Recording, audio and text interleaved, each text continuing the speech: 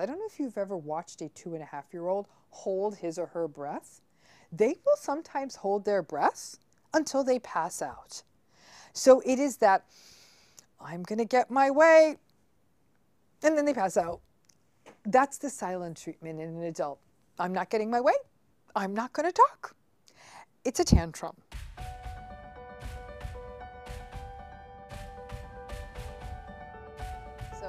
Let's talk about the silent treatment. It is so frustrating, okay? If you've ever been through it, you're like, oh, I know what you're talking about. The silent treatment is definitely one of the key weapons in the narcissist's arsenal. So the silent treatment is exactly what it sounds like. Now, let's give me give you, I'll give you an example. One day, perhaps you have an argument with somebody narcissistic or difficult in your life, or maybe that you issue a small criticism, or they just didn't like something you said or did. That happens, and they just stop talking to you. They just stop. Now, if you don't live with them, they may stop answering any communications and may stop responding and stop reaching out. If you do live with them, they will live in silence with you. And if you talk to them, they will either ignore you or, if it is essential, they may say something. At best, they'll give you a one word answer yes, no, over there, or they'll engage in a verbal gesture. Hey, you'll say, hey, where's the keys? And they will then put the keys in front of you and walk away without a word. Now, if you have ever lived with any of this, you know it, and it is miserable. You would almost just rather have the fight and not deal with this. It is an uncomfortable and very difficult way to live. And it's always kind of hanging over your head this idea that, oh my gosh, the silent treatment is going to come again. So let's talk about the five classical reasons for the silent treatment. The first reason, the first reason is stonewalling or manipulation. In other words, what they're doing is they're using the silent treatment as a way to maybe draw out an apology, to punish you, to get you to do something that they may want to do um, or want you to do. So it's very much this by stonewalling you, the reason it's considered to be a form of manipulation is because then it becomes a way of using their silence almost as a sort of a source of power of sorts. So that is one reason that they do engage in the silent treatment. It just becomes a manifestation of stonewalling with the result of manipulation, and then you end up behaviorally doing something they want, or in essence, they kind of almost get their needs met. The second thing that is seen within the silent treatment is gaslighting what we can sometimes see is that they will, when somebody gives you the silent treatment, it almost feels as though your reality is being absolutely denied.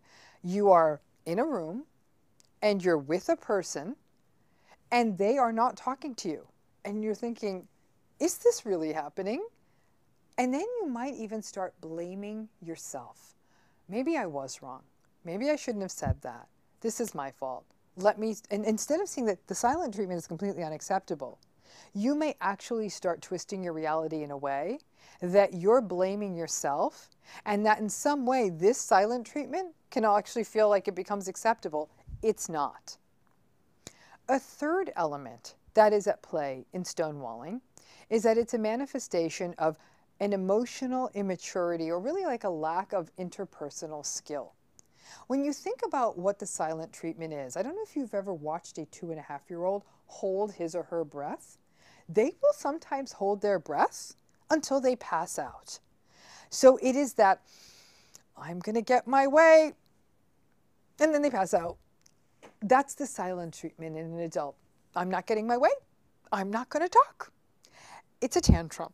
It's a quiet tantrum, but it is nonetheless a tantrum. And tantrums are for children. So when somebody is throwing one as an adult through the, the silent treatment, it very much is a manifestation of not only emotional immaturity, but a real lack of interpersonal skill. Because what it really shows is an incapacity to communicate as an adult about something that's uncomfortable. And because narcissists find it so difficult to take personal responsibility for something that they may have said wrong or misunderstood, or they're really not able to find common ground.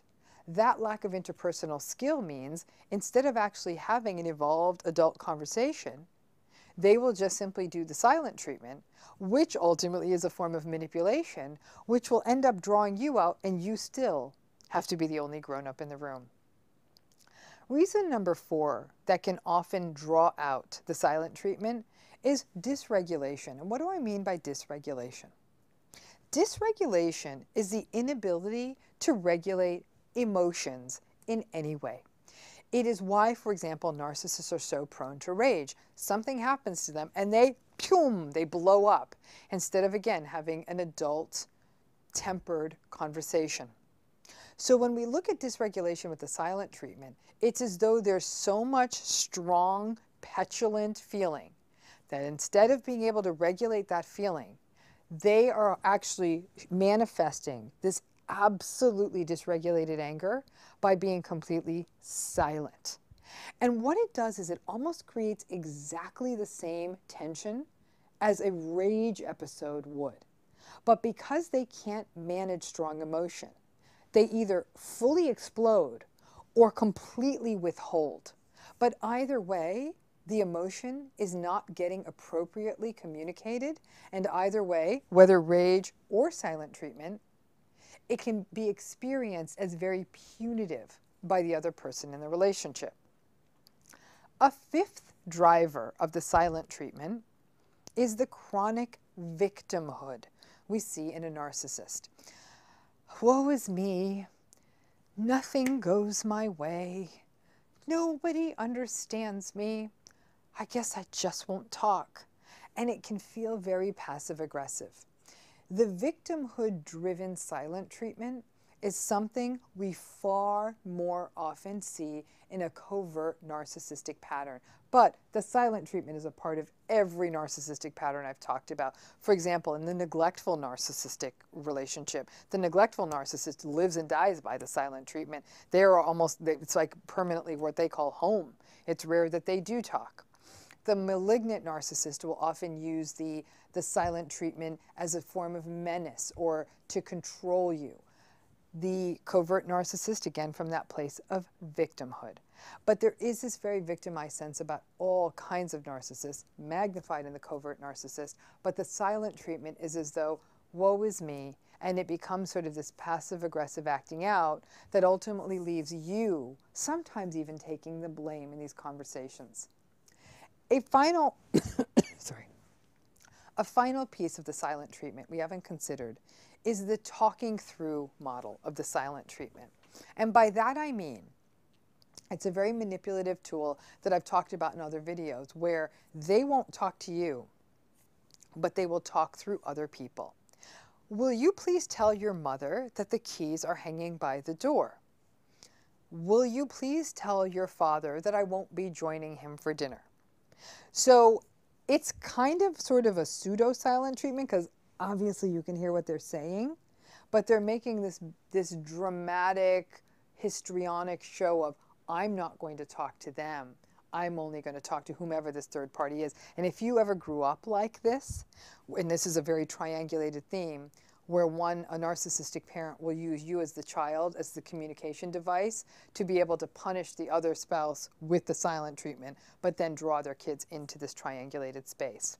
The silent treatment, although it very much can come through the stonewalling space, gaslighting, emotional immaturity or lack of interpersonal skill, dysregulation, and victimhood, that those are really the five primary drivers for why the silent treatment comes through. It can manifest in many different ways one word answers, absolute silence, talking through other people, and non response.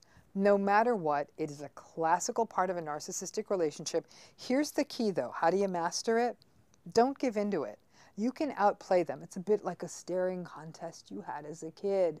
They're going to give you that silent treatment. You're often going to fall into that trap of maybe this is my fault, maybe I need to apologize because you just want to break that tension of the silent treatment. You can really train yourself to not give in and say, okay, I can do, I can do a little bit of a post-it world. I can I can communicate like this because you have put so much time and effort into trying to save this rather broken, often messy relationship. You can out silent treat them. I'm not saying that this is healthy. I think the healthiest path is to communicate in a healthy way. But since they're likely not going to ascribe to that, you can also show yourself the respect and say, I'm certainly not going to blame myself for this, and say that to yourself internally. You don't need to say it to them. And then learn to peaceably exist with them. In fact, I would say you could pretend that if your narcissistic partner or family member is giving you the silent treatment, pretend you're at a silent meditation retreat and try to make the most of it. I don't mean to make light of it, but the fact is the reason narcissists get away with the silent treatment is because it often we often enable it because we give them the results we want. We apologize, take the blame, take the responsibility, do anything we can to start the conversation again because it's so tense.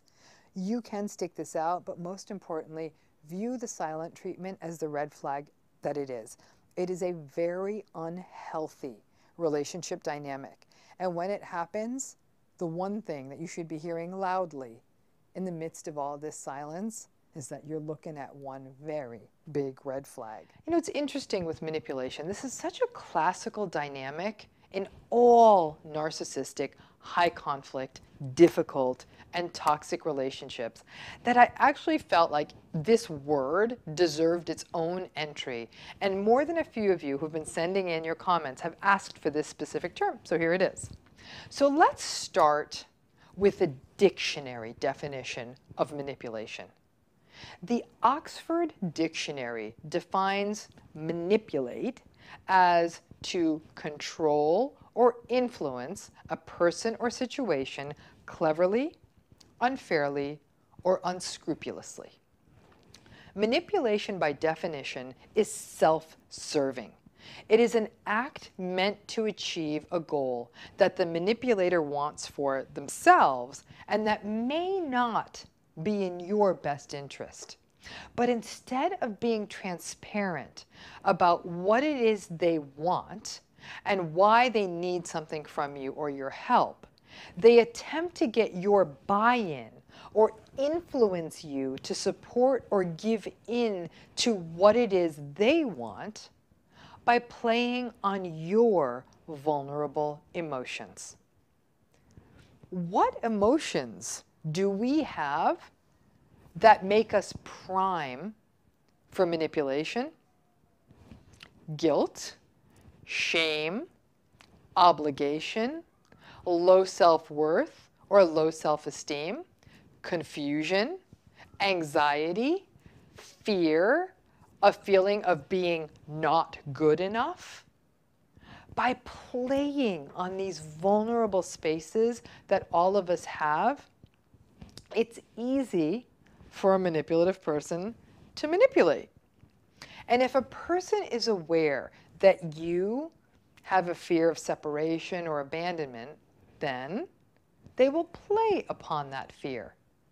And you may give in to them and what they want to avoid facing that uncomfortable feeling or fear. And that is often one of the most clear ways that manipulation works. It works with us because we want to avoid the thing that makes us uncomfortable, whatever that thing is. To me, guilt is the, is, in my opinion, is the uncomfortable feeling that people are most trying to avoid. So we go with what the manipulator wants, but sometimes we just don't want to disappoint people. We don't want to let them down. So examples of this could be things like you don't want to feel guilty about sharing your feelings and causing more stress for the narcissist, or so the narcissist says, so you don't share your feelings. You don't bother them with the stuff in your life. You don't want the relationship to end or shift, and so the manipulator says, you know, I don't like you spending so much time with your friends or your family, so I don't know, you work a lot. eh, this relationship may not be working for me. And voila, you stop spending time with friends as much or family or working towards your goal so you can avoid feeling that possibility that this relationship could end. In this way, manipulation is a way that somebody takes advantage of our vulnerabilities and our discomfort to set a precedent and then a pattern whereby the narcissistic person, the, the narcissistic pattern of a manipulative person playing upon this. Now, all of that falls under what I might call negative manipulation. Person manipulates us by playing upon our fears or vulnerabilities, even little things. Like I said, our fear of disappointing people or letting them down. It's a more sort of abusive, cruel, mean kind of manipulation. But there's also manipulation, I'm going to call it positive manipulation. It's not positive that it's happening, but it's sort of a fluffing up manipulation. What they may do is a narcissist may use flattery, and they may play upon those things with us, those things that flatter us. Now, this technique is more likely to come up during the love bombing phases and the honeymoon phases. They may compliment appearance. Oh, looks like you've lost weight, or I like how your hair is now, you look sexy. The, your knowledge, your expertise, your experience, they may compliment anything, but they do it in a way that gets them something they want. So let me give you a very, very simple example they want to ride to the airport and they'll say, you know, gosh, it's so amazing how nice and giving you are to other people. You are literally the sweetest person I have ever met. There aren't so many giving kind of angels amongst us, like amazing. You're like, okay, that's great. Thank you. Thank you so much. And then a short time later, maybe a day or two, they're like, I, I hate to ask you this because because you do so much for other people. Would you mind driving me to the airport, the Ubers, it's all a big problem. Now, obviously, that's a small example. In a more toxic manner, this can play out as complimenting you in a way that can pull you from doing things that matter to you or that leave you feeling confused about issues about which you may even be ambivalent or conflicted. So perhaps, let's see, maybe you wanted to maintain some part of a career after you had children. And you wanted to attempt to balance the two. But a narcissistic partner may recognize that you working after you have kids could potentially really inconvenience them. they may have to pitch in and also give them less control over you. So they may try a positive manipulation and say, wow, you are the most amazing mother. What a fantastic mother you are. How lucky is our baby that you're around them 24 7, giving them love and affection. You are so devoted that I would never want to imagine you'd ever want to spend time away from the baby. You deserve, I mean, you really deserve to spend years with the baby and to heal. And it never becomes a conversation about possibly maintaining part of your career. It's not a conversation, it's about them playing on your inner conflict about wanting to be there for your child, but also your conflict about what your career means to you. And boom, they climb into that hole of cognitive dissonance and they turn it around. And at that point, you are, are already ambivalent. So it's very easy for them to step right in and turn the situation to what they want. Manipulators are masters of playing upon ambivalence in a way that many times you don't recognize as manipulation, but instead you may identify it as ah, my internal confusion, internal ambivalence, but let me tell you what would have been healthy in this situation. In this situation, it would have been a very real and open and supportive conversation about what you both hope for for your family. You may not even be in 100% agreement, but you may come to a compromise that accounts for both of you rather than the manipulator being internally very clear on what he or she wants, you being at home so they don't need to ever be inconvenienced by childcare issues, and then playing upon your ambivalence to get what they want with the hope that you experience it as what you wanted and zero concern over your process and your hopes. So yeah, manipulation can either be positive, sort of fluffing you, or negative, you know, sort of playing on your vulnerability. The positive, again, using compliments and praise to really sort of butter you up to get what they want. The negative being playing upon your guilt or other negative emotions or vulnerabilities or your negative self-concept. For example, your sense of not being enough or not wanting to disappoint people to get what they want. Now, manipulation is very frequently a feature of intimate and close relationships with narcissists. Now, and it tends to start really early in the relationship because there's sort of two pathways to manipulation that we've been talking about the positive and the negative, the flattery versus playing on a person's vulnerabilities. Now, these patterns may evolve over the course of a toxic relationship cycle. Early on, if you have a love bombing phase, or at least the get acquainted phase, the narcissist is doing two things. They may be using love bombing and using flattery to play and playing on that to manipulate you, but they are also doing something else. This is also the mirroring and data gathering phase. When they are collecting information about your vulnerabilities, they start recognizing that you do struggle with guilt and not enoughness and indecisiveness and obligation and not wanting to let people down. And they are going to study that and they're then going to be able to use it in their cruel manipulative processes. Now, anyone who has ever been in a relation, a close relationship with a narcissist, sort of a marriage, fiance, boyfriend, girlfriend, understands this fundamentally. Manipulation is a core dynamic in these relationships, and it is a primary contributor to the sort of the destabilization that comes from narcissistic abuse because it leaves a person chronically confused, wondering if anything in the relationship is ever in their best interest. And here's the rub.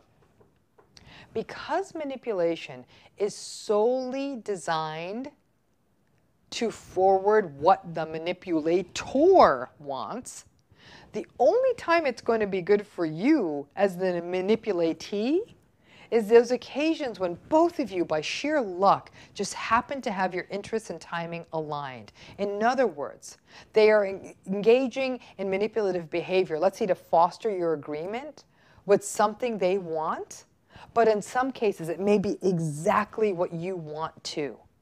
That's not a healthy relationship. That's luck.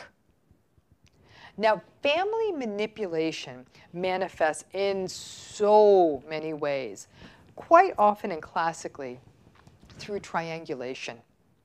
In a family system, the narcissist wants what he or she wants, and this is often apparent.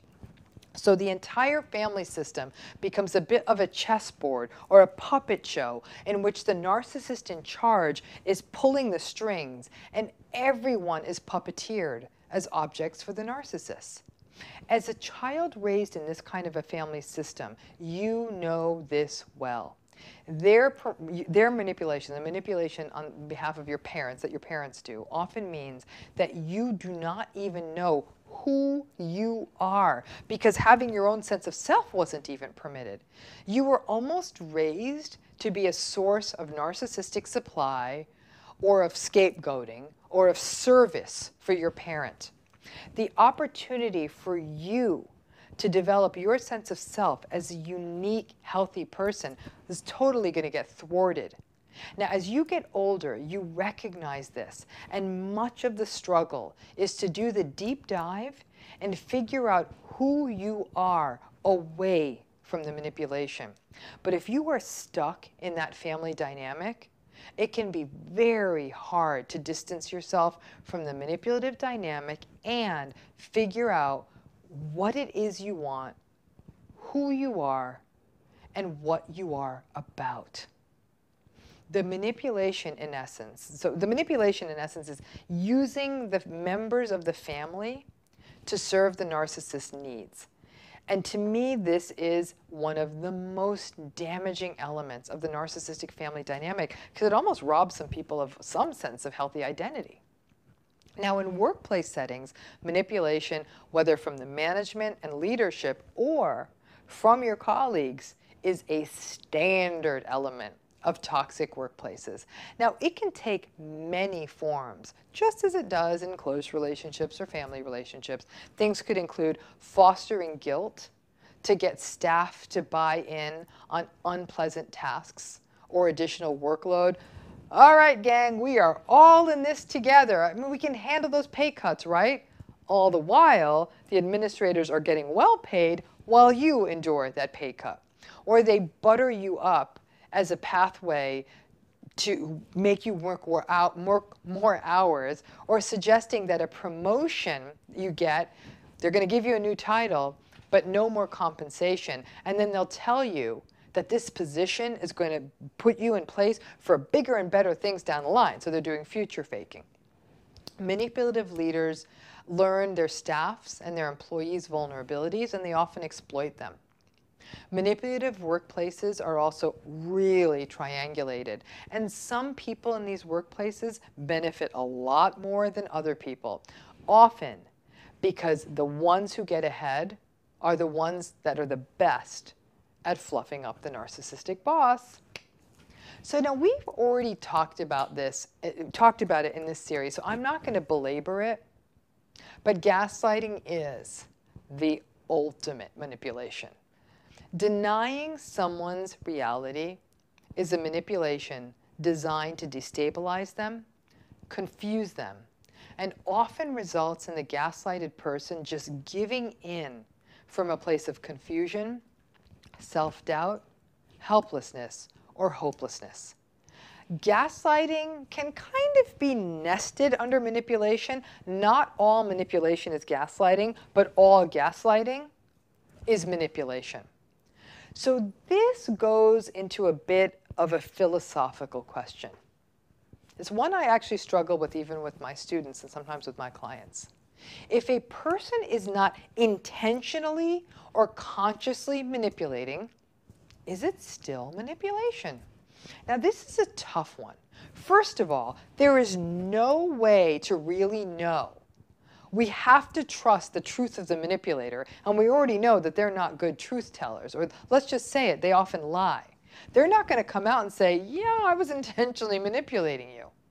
When we talk not just about narcissism, but about all of the high conflict, antagonistic, and difficult personality styles that all hang out together. And these things all together are often collectively termed, it's an old school term, but they're collectively termed cluster B patterns. All of these patterns all show a lack of social and interpersonal skills. These are people who are not particularly good at empathy, not particularly good at intimacy, not particularly good at self-reflection. There's a selfishness to these cluster B patterns in which they're sort of single-mindedly focused on doing what works for them with little regard for other people. But this lack of social skill of not being able to understand the back and forth or the reciprocity of human relationship can mean that they're going to do and they're going to say whatever they need to do to serve themselves. Now, manipulation gets tricky because we have to, at some part level, own our part in it. Now, I am not, and I do not want to engage in blaming the victim here. So is, I'm, I'm sort of walking in a tricky space here. But the fact is we all, all of us have elements.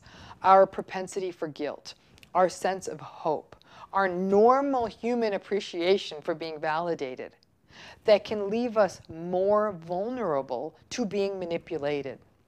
So when a person engages in some kind of passive aggressive prattle about something, I don't know, coming to a work event or working late on a deadline or loaning someone money, when they go on about some of these things and get very passive aggressive in those spaces, it can thrum on our ancient scripts of issues such as guilt. Oh, okay, sure, I'll give you money, but I struggle a lot too.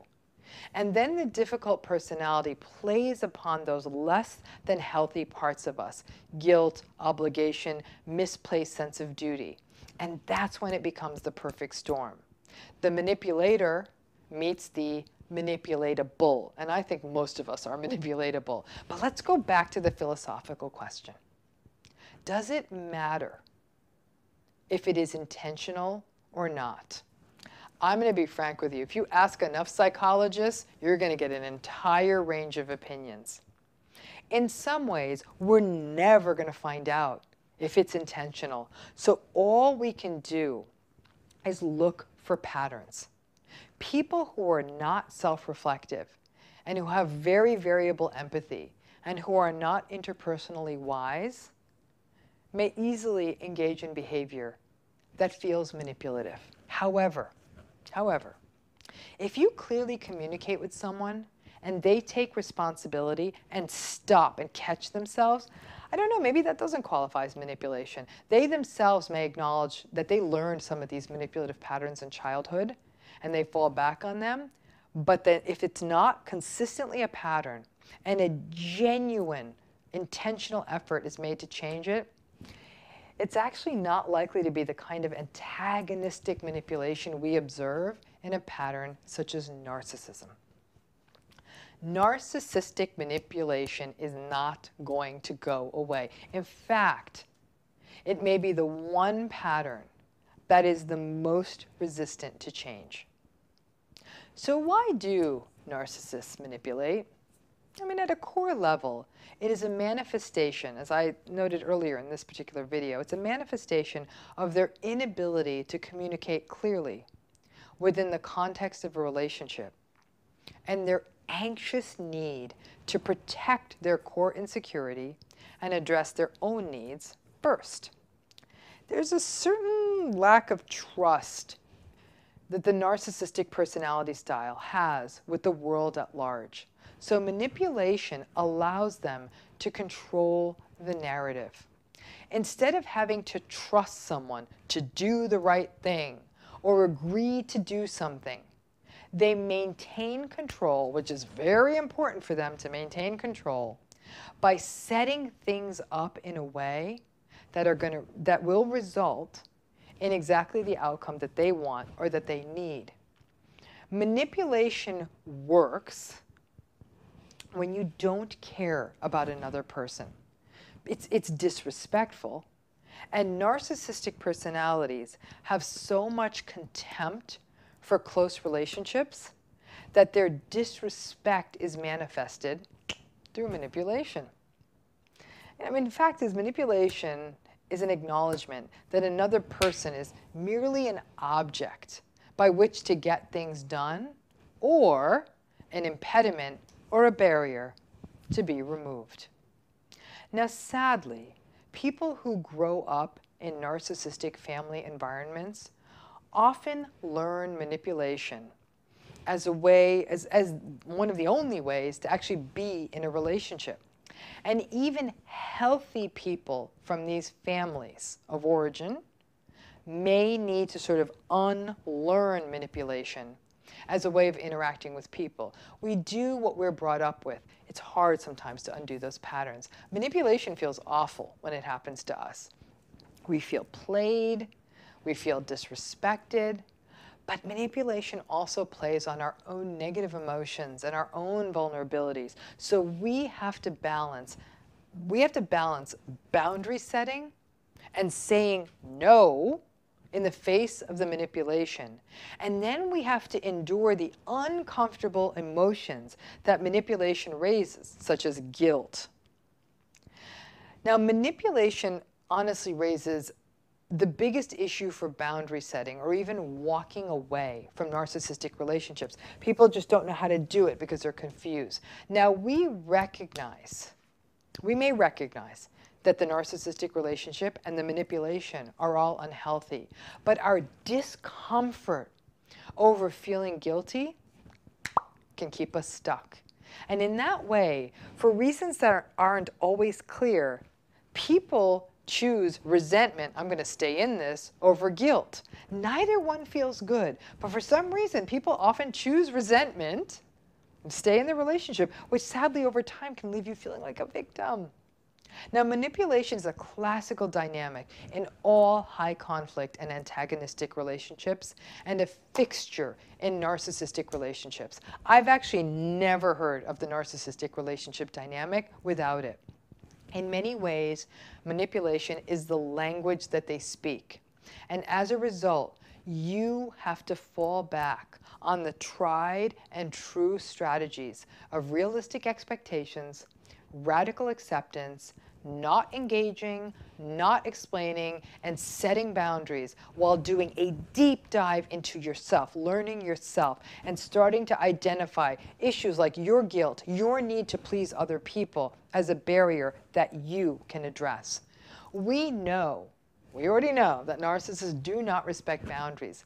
But if you can get a handle on some of the stuff that keeps you stuck, like guilt, or a distorted sense of duty and obligation or false narratives and fear, you can start learning the superpower of avoiding manipulation and doing it with compassion and with grace. Sometimes, quite often actually, no is the hardest word to say, and yet it may save your life. Manipulation is really one of those challenging, the most challenging dynamic in narcissistic relationships. And many people have to see it happen hundreds, thousands, sometimes tens of thousands of times to really recognize it for what it is and finally set the real boundaries or step away from the relationship as a means to their own survival. Today we're going to talk about gaslighting. It is a word that everybody is talking about, but not everyone is exactly sure of what it means. And trust me, for those of you who have experienced it, and most of you experienced it, you'll know it when it happens. But simply put, it is having your emotions and your reality denied. So I'm going to run you through some classical statements, the kinds of words people use when they're gaslighting you. So here are some of the classics. Stop being so sensitive. That never happened. I think you may be mentally ill. You need help. Why can't you take a joke? Why are you always so angry? Why can't you let go of the past? No one is ever going to love you the way I do. It doesn't sound like what you just did was that difficult. It sounds like you are exaggerating. I am sorry you choose to make yourself feel that way. There is nothing that warrants you feeling that way. You have no right to feel that way. Actually, you don't really feel that way. Let me tell you how you do feel. Other people have it so much harder than you. Stop being a victim. And to everyone out there on YouTube, if you have some more examples of gaslighting statements you've heard or experienced, please drop them below in the comments because it's always good for us to keep a library of gaslighting taglines so you know it's happening to you. So exactly what is gaslighting? Let's start with where the term comes from. It originates from a play that later became a film in the 1930s called Gaslight. In the film, the husband keeps turning the old-fashioned gas lights up and down. And when she asks him who is turning the lights up and down, he denies it's happening. He tells her he doesn't think that they're any less bright than they were before. She slowly starts to doubt her own reality then she loses her grip on reality and then she goes insane. Simply put, gaslighting is the doubting of another person's reality, deliberate or not. It can be done by that long variety of phrases that I read to you above. By saying something, then denying it. By promising something and then denying the promise. Over time, the gaslighted person feels confused and full of self-doubt. Gaslighting can be manifested in a variety of ways, so let's break them down. First, let's talk about classical gaslighting. This involves straight up denial of your reality. That never happened. You have no right to feel that way. Every single narcissistic relationship I have ever worked with, counseled, or consulted on had some gaslighting present. It's a given in a narcissistic or toxic relationship. It results in the narcissist holding all of the power in the relationship because they hold the reality. It leaves you full of self doubt, second guessing, confusion. And when you are focusing all of your energies on trying to get your own reality sorted, the narcissist can do a good job of continuing to confuse you. Gaslighting is obviously manipulation, emotional abuse, and it sets a tone for the relationship. One classical book about this is called He Said the Sky Was Purple. And that is how gaslighting works. Not only is your reality denied, you start accepting the reality of the other person. The second kind of gaslighting is withholding. I'm not going to talk to you if you bring that up again. This results over time in silencing yourself in a relationship for fear that your other needs will not be met. Fear, for example, that you will lose the relationship, and then also a pattern of doubting yourself and wondering if there is something wrong with you for bringing up a topic. Anyone who has ever been from a family of origin where this kind of emotional abuse was taking place, or any other physical or sexual abuse, you know this dynamic too well. And for a child to hear that if you bring something up again, that you would lose the love or support or safety of a significant adult, such a parent, it can be terrifying. This kind of gaslighting can result in going into adulthood feeling that you are not allowed to speak about your own needs. And as you can guess, that can be a perfect setup for getting into and staying in a relationship with a narcissist as an adult. The third kind of gaslighting is contradicting. This involves screwing with your sense of reality by telling you that you did not remember a situation correctly. Actually, your mother was at the party, or I met you after my wife moved out of the house, or you had already said that you didn't want to come to my birthday party when I changed the date. Contradicting can leave you wanting to do things like check old emails, voicemails, and text messages. You may look at old photographs to actually confirm whether indeed your mother was actually at the party. You start feeling like a private detective in your own life. The fourth kind of gaslighting is diversion. This involves changing the subject to something that makes them, the narcissist, look good and makes you look irresponsible or like a bad person.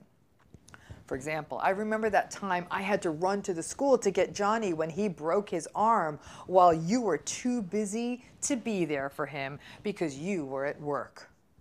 Or when you bring up cheating or infidelity, they will then bring up something that you may have felt ashamed about from your past.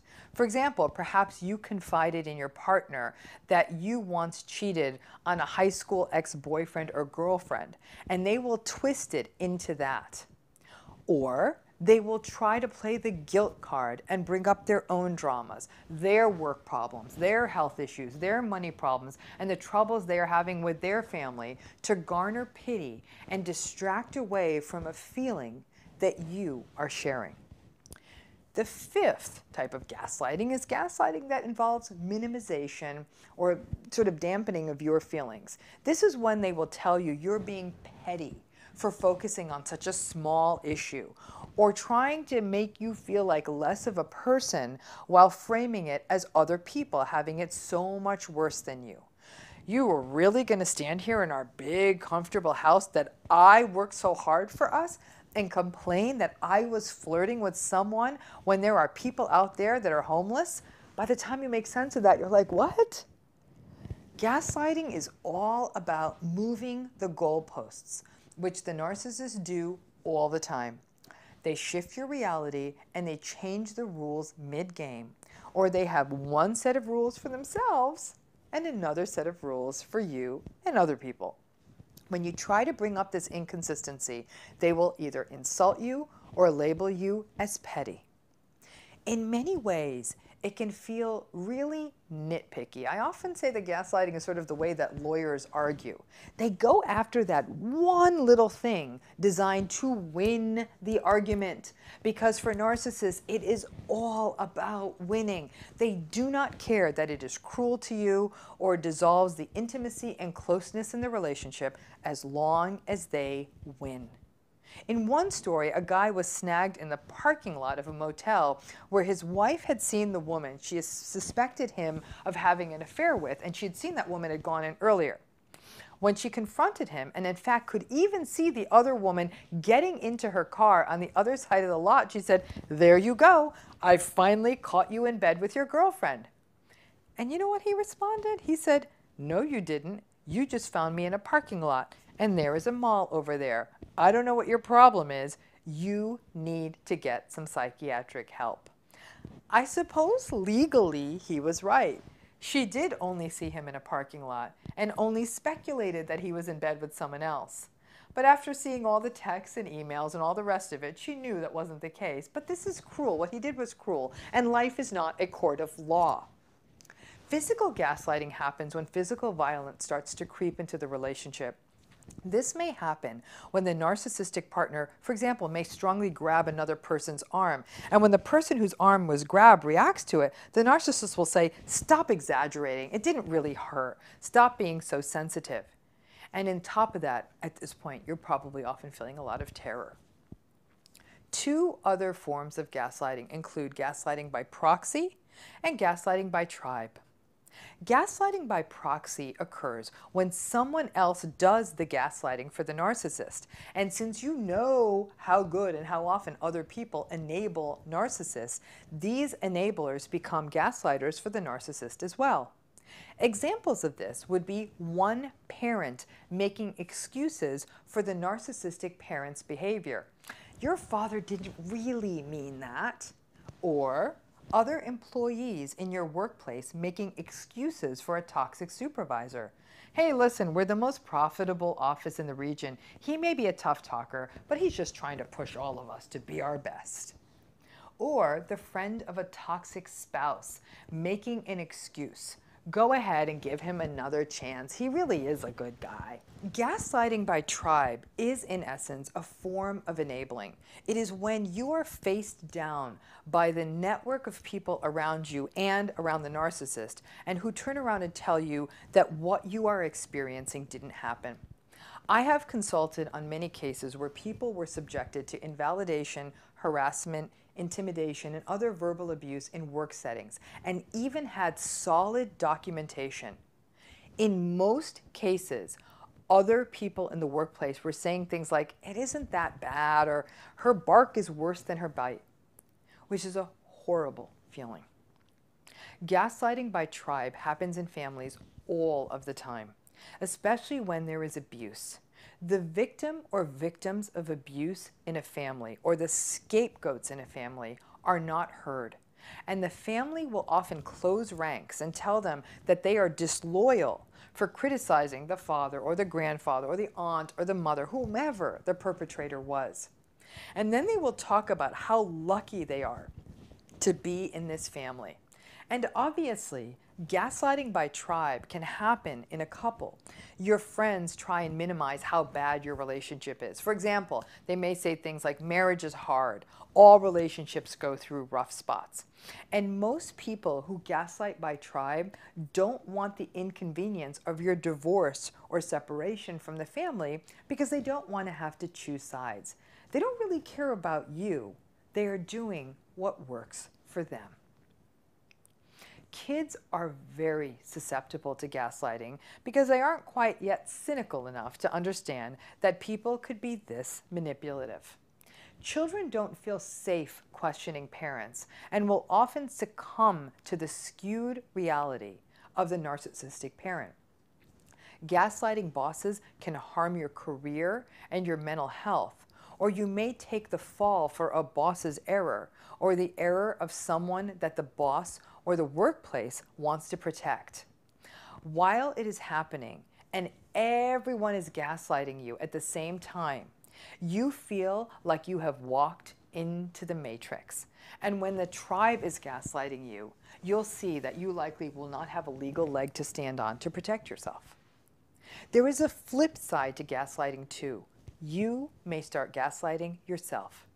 After having to numb yourself for so long and to live in confusion for so long, you may find yourself denying your own emotions, saying something like, I don't feel anything. This isn't upsetting me.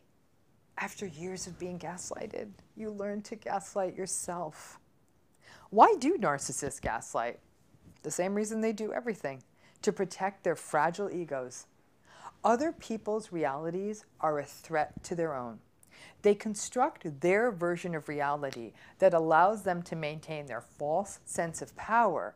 And because the narcissist narratives are inflexible, they are not willing to integrate other people's perspectives, which is why they so often come off as pig-headed and stubborn.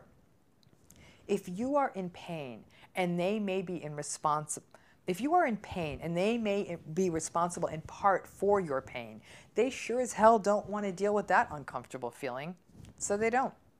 They simply tell you that you aren't having that feeling. You're not in pain.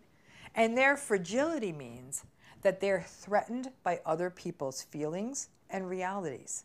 And so they don't make room for them and they deny them outright. How convenient for them and how abusive for you. So why do we fall for it? Why do we fall for gaslighting? Why don't we just walk away the first time that someone gaslights us or say a few choice obscene words to them? There are a few reasons and vulnerabilities. First, if you grew up being gaslighted, you already doubt your reality. After a lifetime of gaslighting, it is almost normalized and you accept it as part of a human relationship. Second is the fact that most of you are nice people and you create rationalizations or you offer people second chances believing that they really didn't or couldn't possibly mean it. Third, for too many people, especially those who are frightened of abandonment or just do not recognize their own reality, there is the fear of losing the narcissist if you call them out. Or at least you may be concerned about being perceived as arrogant or narcissistic yourself if you actually said something.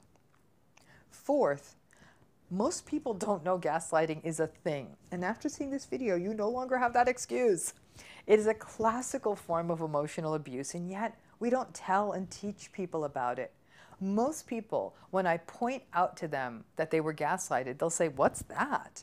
And then, in a matter of minutes, 30 years of a confusing marriage, starts to make sense. So what are we supposed to do if we're gaslighted? Obviously, in the best case scenario, you see it as the red neon flag that it is, and you walk away. That's not always an option. So I tell people to internally stand their ground. As always, don't get in the mud with them. Don't defend yourself. Don't react. Just learn that little Mona Lisa smile. Reveal nothing on your face Give a little head bob like that.